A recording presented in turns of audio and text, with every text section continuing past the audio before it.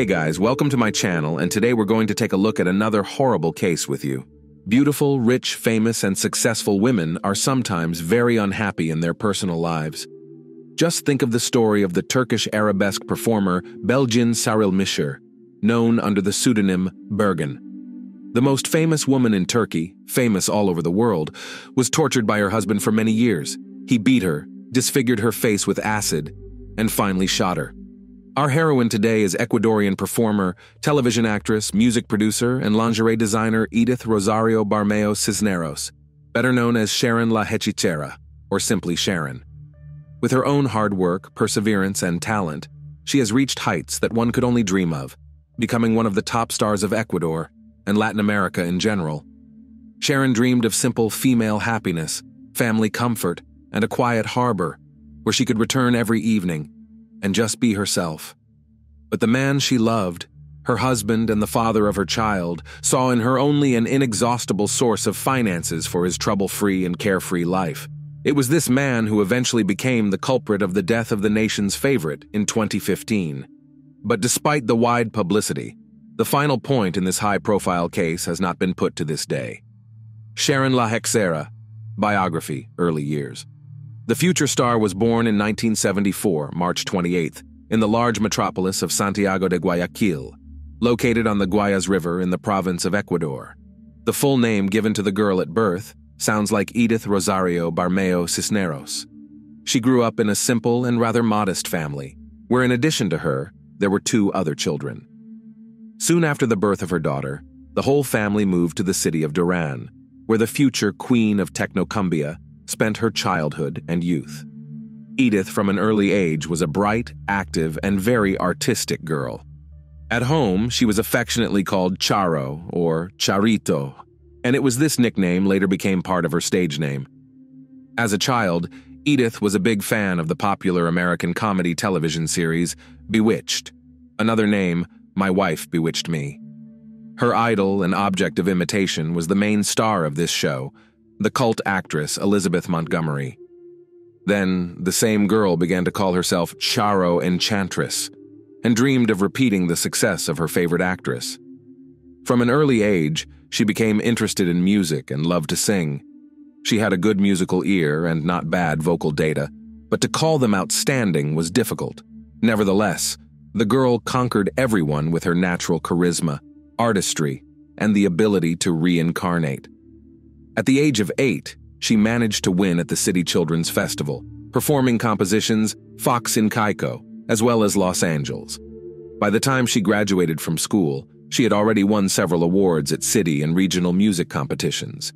She dreamed of becoming a famous singer and conquer the big stage, but her parents were skeptical of these dreams. They believed that the heiress is not talented enough to become a star, and since their family has no connections in show business, the career of a performer is not worth dreaming about. Edith, listening to the advice of her family, decided to go to university, choosing a more practical and down to earth profession as a public relations specialist at the State University of Guayaquil at the Faculty of Communication Sciences. But her dream of becoming a singer did not go anywhere. Edith believed that everything has its time, and she should wait a little to choose the most appropriate moment path to fame. While studying at university, Edith took on any part time job and tried herself as an assistant teacher in a kindergarten, a seller of sweets in morocho, a traditional Ecuadorian drink, as well as a dancer in the local creative team, performing at the warm up of visiting popular artists and musical groups. But all this was only to save money, which she later used to record her debut music album, Braveheart, which was released in 1998.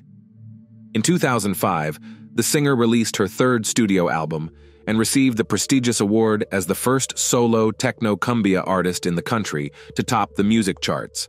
In 2010, she released her fourth album entitled Poco a Poco, and two years later, her fifth album was released, which unfortunately became the last one in her life and career.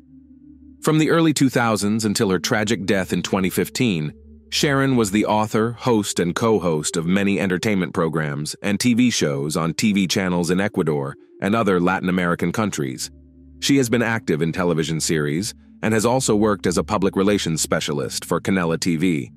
In addition to a successful career on the music scene and television, Edith also decided to try herself as a fashion designer, creating seductive lingerie by her own sketches.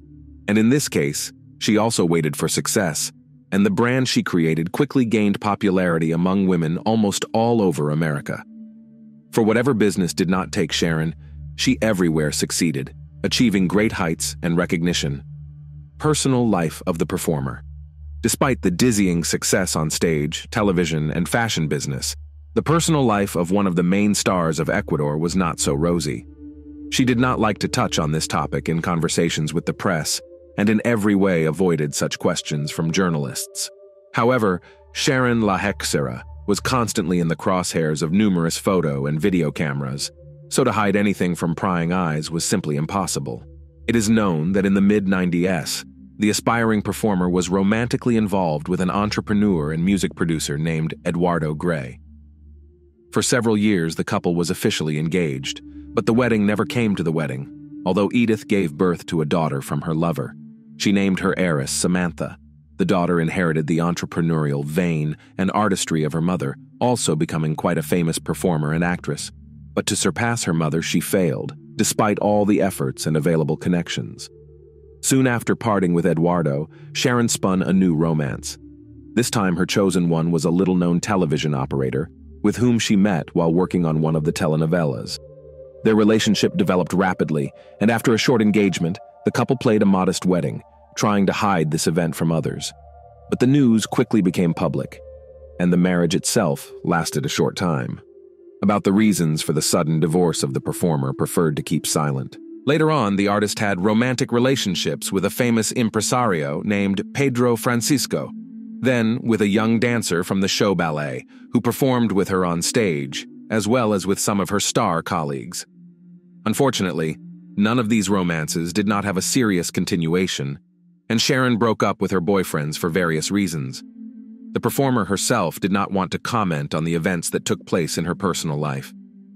She raised a daughter, engaged in career, but still hoped that one day in her life there will be a worthy, loving man. Relationship with Giovanni Lopez. In 2009, the performer met a young man named Giovanni Lopez, who was more than 10 years younger than her. He was also a native of Ecuador, but as a child, together with his parents, emigrated to the United States. The family settled in New York City, where virtually all of Giovanni's childhood and adolescence took place. They first met during a large tour of the singer in the United States, but at that time their communication was limited to work, and Lopez himself helped with the organization of Sharon's performance. But probably, even then, these two have already penetrated some sympathy for each other. In addition, it turned out that the young man was a longtime fan of the Queen of Technocumbia, and he was honored to have the opportunity to work with her personally.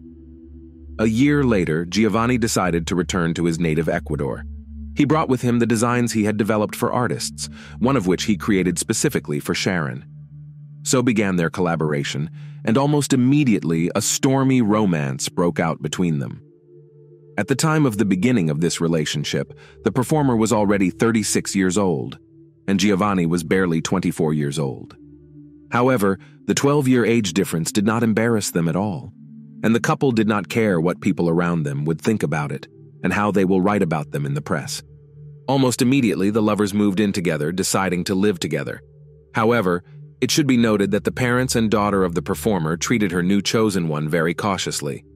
Giovanni immediately they did not like it, and they decided that the young man twisted romance with the star solely for his own selfish purposes, and in fact did not love her at all, but only wanted to use.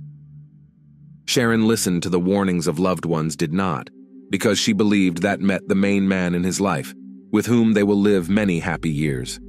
Soon the couple married, and the couple began to think about the birth of a common heir.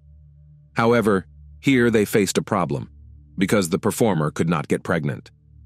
As a result, she decided to in vitro fertilization, and in May 2012, 38 year old celebrity gave birth to a boy who was named Brian Giovanni Lopez, the abusive relationship. Giovanni only at first tried to be a caring and loving man on whom you can rely in everything. However, as soon as the couple concluded marriage and the performer became pregnant, the behavior of the young husband began to change rapidly, and he himself literally turned into a domestic tyrant. He no longer sought to earn money independently, and he was quite satisfied with the position of an Alphonse. He willingly spent his wife's money for his own needs, entertainment, expensive clothes, and care for his appearance. In addition, Lopez began to abuse alcoholic beverages and less and less often appeared at home, preferring to spend time with friends and mistresses. To all this, Giovanni began to openly insult his wife, pointing to her age and fading beauty. According to some reports, because of his offensive statements and remarks, Sharon decided to do a number of plastic surgeries to preserve her youth and look like her husband. In particular, the performer enlarged her breasts, did a lift, and several cosmetic manipulations. But all her efforts were in vain and did not help to return to the family peace and harmony. Queen of Technocumbia continued to work actively, starred in TV series, hosted entertainment shows, as well as preparing material for the recording of a new album. She tried to smile in public and claimed that she was finally happy in her personal life. However, only people close to her knew about how things were really going in her family. In early 2014, when little Brian was not yet two years old, the artist made the first serious attempt to break off the relationship with Giovanni. But he said that he would agree to give a divorce only if Sharon will give him half of his property and funds in her bank accounts, so that he, after the separation, could continue to lead an idle and carefree lifestyle to which he was used to. Sharon could not agree to these conditions, and so began to consult with lawyers how to dissolve the marriage, but at the same time, to keep the property and get full custody of their joint young son. By the end of the year, family life became simply unbearable, but the couple continued in public to play the role of happy spouses. One last family trip. On the eve of the new year 2015, the performer gave a number of festive concerts and also starred together with her star colleagues in several dedicated Christmas and New Year's events. After that, exhausted by work, the young woman decided to arrange a small vacation and go with friends, husband, and son to the warm coast to relax a little, try to gather her thoughts, and decide what to do next. On the evening of January 3, 2015, the whole company decided to make the return trip. Since the journey was going to be long and they were traveling by car, the friends decided to follow each other and be in constant contact in case someone needed help. They decided to coordinate all the stops on the way in advance. Sharon had to drive the car that evening because her husband had been drinking alcoholic beverages all day. After a few hours, the company made a stop at a gas station and decided to have dinner there in a roadside cafe. During the meal, the singer and her young husband had a big fight because Giovanni again ordered a drink, although earlier he promised that he would not drink and get behind the wheel, giving Sharon the opportunity to rest and give time to the child. The couple argued for about half an hour and could not agree on who would drive the car. In the end, their friends could not stand it and asked if they could continue on their way. The singer said that she did not want to delay them because of her family problems, so they could go on, and he and Giovanni would have to stay a little longer. The friends reluctantly agreed, and after another half hour headed to their car, leaving the couple at a roadside cafe. They had no idea that they would never see Sharon alive again. Strange accident. On January 4th, around half past two in the morning, the friends received a phone call from an agitated Giovanni asking them to come back because there had been an accident and Sharon might be dead. His words were a real shock because he did not specify details and it was completely unclear what had happened on the night road. By the time they returned, emergency services were already on the scene, trying to help the victim and reconstruct the picture of events. According to Giovanni, on the highway Ruta del Spondylus, near the Ecuadorian province of Santa Elena, at about 1:15 a.m., his wife got out of the car to calm her crying son and change his diaper. At that moment, another car crashed into her at a great speed. This car, without even stopping, sped away, leaving the scene of the accident. The young woman was thrown a few dozen meters to the side of the road from the impact. When the ambulance arrived, she was still alive. She was even taken to the hospital, but despite the best efforts of the doctors, Sharon soon died of massive injuries and internal bleeding. Giovanni was still drunk and confused in his testimony, and his story sounded rather strange and not quite logical. The police therefore decided to detain him until morning to question him in detail when he had sobered up. Lopez confirmed the words of friends that he and his wife quarreled all evening and admitted that, contrary to the promises and prohibitions of his wife, defiantly drank alcohol in order not to drive and piss off Sharon. Giovanni's testimony. He did not see the license plate number of the car that hit his wife. He did not even remember the make, and only said that the car was white. There were no CCTV cameras on that stretch of road, no witnesses could be found, and the accident itself looked suspicious because Sharon did not even turn to the side of the road before leaving the cabin and did not make sure of safety. Although on a straight deserted road, any vehicle can be seen and heard from afar, even at night. The longer the police tried to correlate all the facts with Lopez's story, the more what had happened resembled not an accident, but a premeditated murder.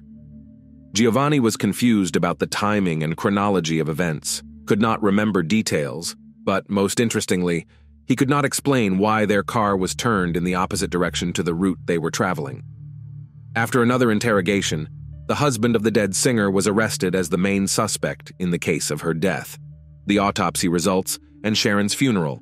The autopsy revealed that the deceased woman's body had numerous injuries typical of a victim of a traffic accident. However, experts also found a clear and fairly deep mark on Sharon's chest that could have been left by a seatbelt. This fact raised even more questions and suspicions. Samantha, who spent New Year's holidays in the company of her boyfriend, learned about the tragedy from singer Sonia Ramos, a close friend and colleague of her mother. The girl could not believe that all this is really happening. She called her father, Eduardo Grey, and asked him to come to her as soon as possible so that they went to Sharon's home together and began preparations for the funeral. After making all the preliminary arrangements, the body of the celebrity was taken to the Coliseum Cerrado Voltaire Paladines Polo in the province of Guayaquil. To say goodbye to one of the brightest stars of Ecuador came thousands of her friends, colleagues, and fans. Also, this sad event was covered in all leading publications of the country, and on television was even announced a one day mourning. Grief stricken Samantha sobbed on the shoulder of her father, and near were her grandmother, grandfather, and uncle and aunt. All members of the deceased celebrity's family refused to comment in any way on what had happened. None of them accused Giovanni of what happened directly, but all of them showed their negative attitude towards him.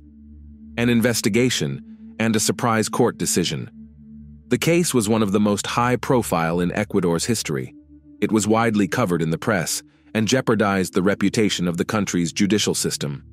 The initial verdict literally shocked relatives and fans of the celebrity, and the revision of the case was delayed so much that the final point in this matter has not been put to this day. So, the white car, which, presumably, hit the artist, was found a few days later. The car had characteristic damage, which, as experts have established, could be obtained as a result of an accident if you hit a person at high speed. The owner of the vehicle was a young woman named Tatiana Chavez, who categorically denied her involvement in the accident. However, the prosecutor's office opened two criminal cases at once negligent homicide against Tatiana and premeditated murder against Giovanni. Lopez's story sounded extremely unconvincing. He was confused and contradicted himself, then recognized the car and even claimed to have seen the driver, then again doubted his own words referring to alcohol intoxication. In parallel, the daughter and parents of the deceased also filed a statement, blaming the singer's husband for the incident. In their opinion, he never loved Sharon and had a motive for the murder in order to seize her money and get custody of the child. Samantha noted that her mother, shortly before the tragedy, consulted with lawyers about the dissolution of the marriage.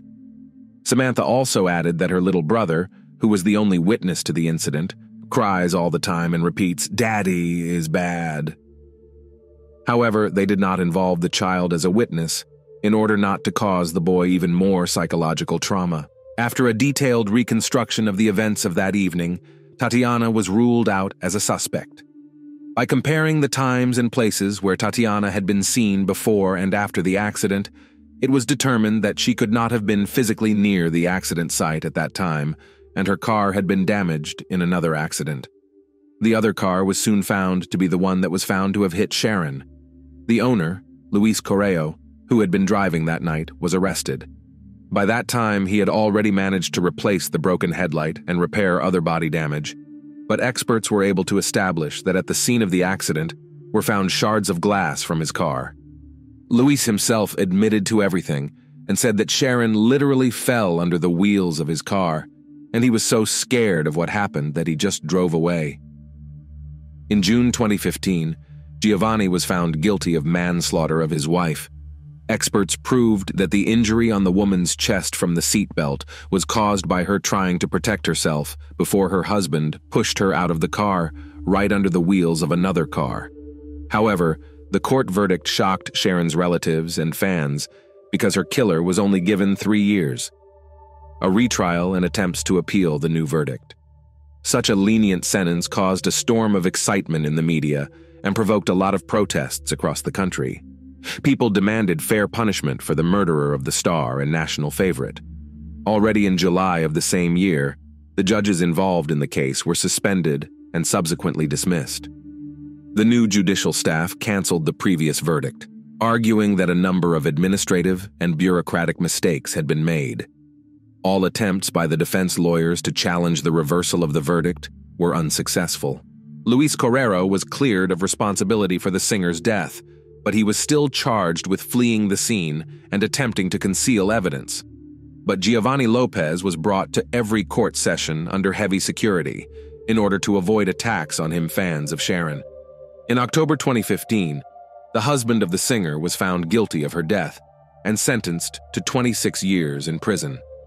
The court also took into account the evidence provided by Samantha evidence of Giovanni's cruel treatment of her mother, as well as the fact that he blackmailed his wife demanding from her a fabulous sum for consent to divorce. A few months later, two appeals were filed at once. The prosecution demanded to increase the term to the maximum, 35 years, and the lawyers insisted on the illegality of the new sentence. However, both complaints were rejected. In 2021, Lopez again tried to challenge the court's decision. In addition, he stated that he was subjected to ill treatment in prison and his rights were grossly violated. The prisoner even went on a hunger strike to pressure the court to release him. He argued that he was wrongfully convicted and the main perpetrator of the tragedy, Luis Correo, remained free. In 2023, Giovanni, already with a new lawyer, appealed again, once again hoping to secure his release. It is worth noting that in this difficult case, the composition of the judges was again changed due to the revealed abuse of power. Therefore, Lopez's defense hopes not only to challenge the verdict, but also to seek compensation for the years spent in prison. Thanks for watching, guys. Subscribe to the channel and don't forget to click on the bell not to miss new stories from around the world. See you soon. Take care.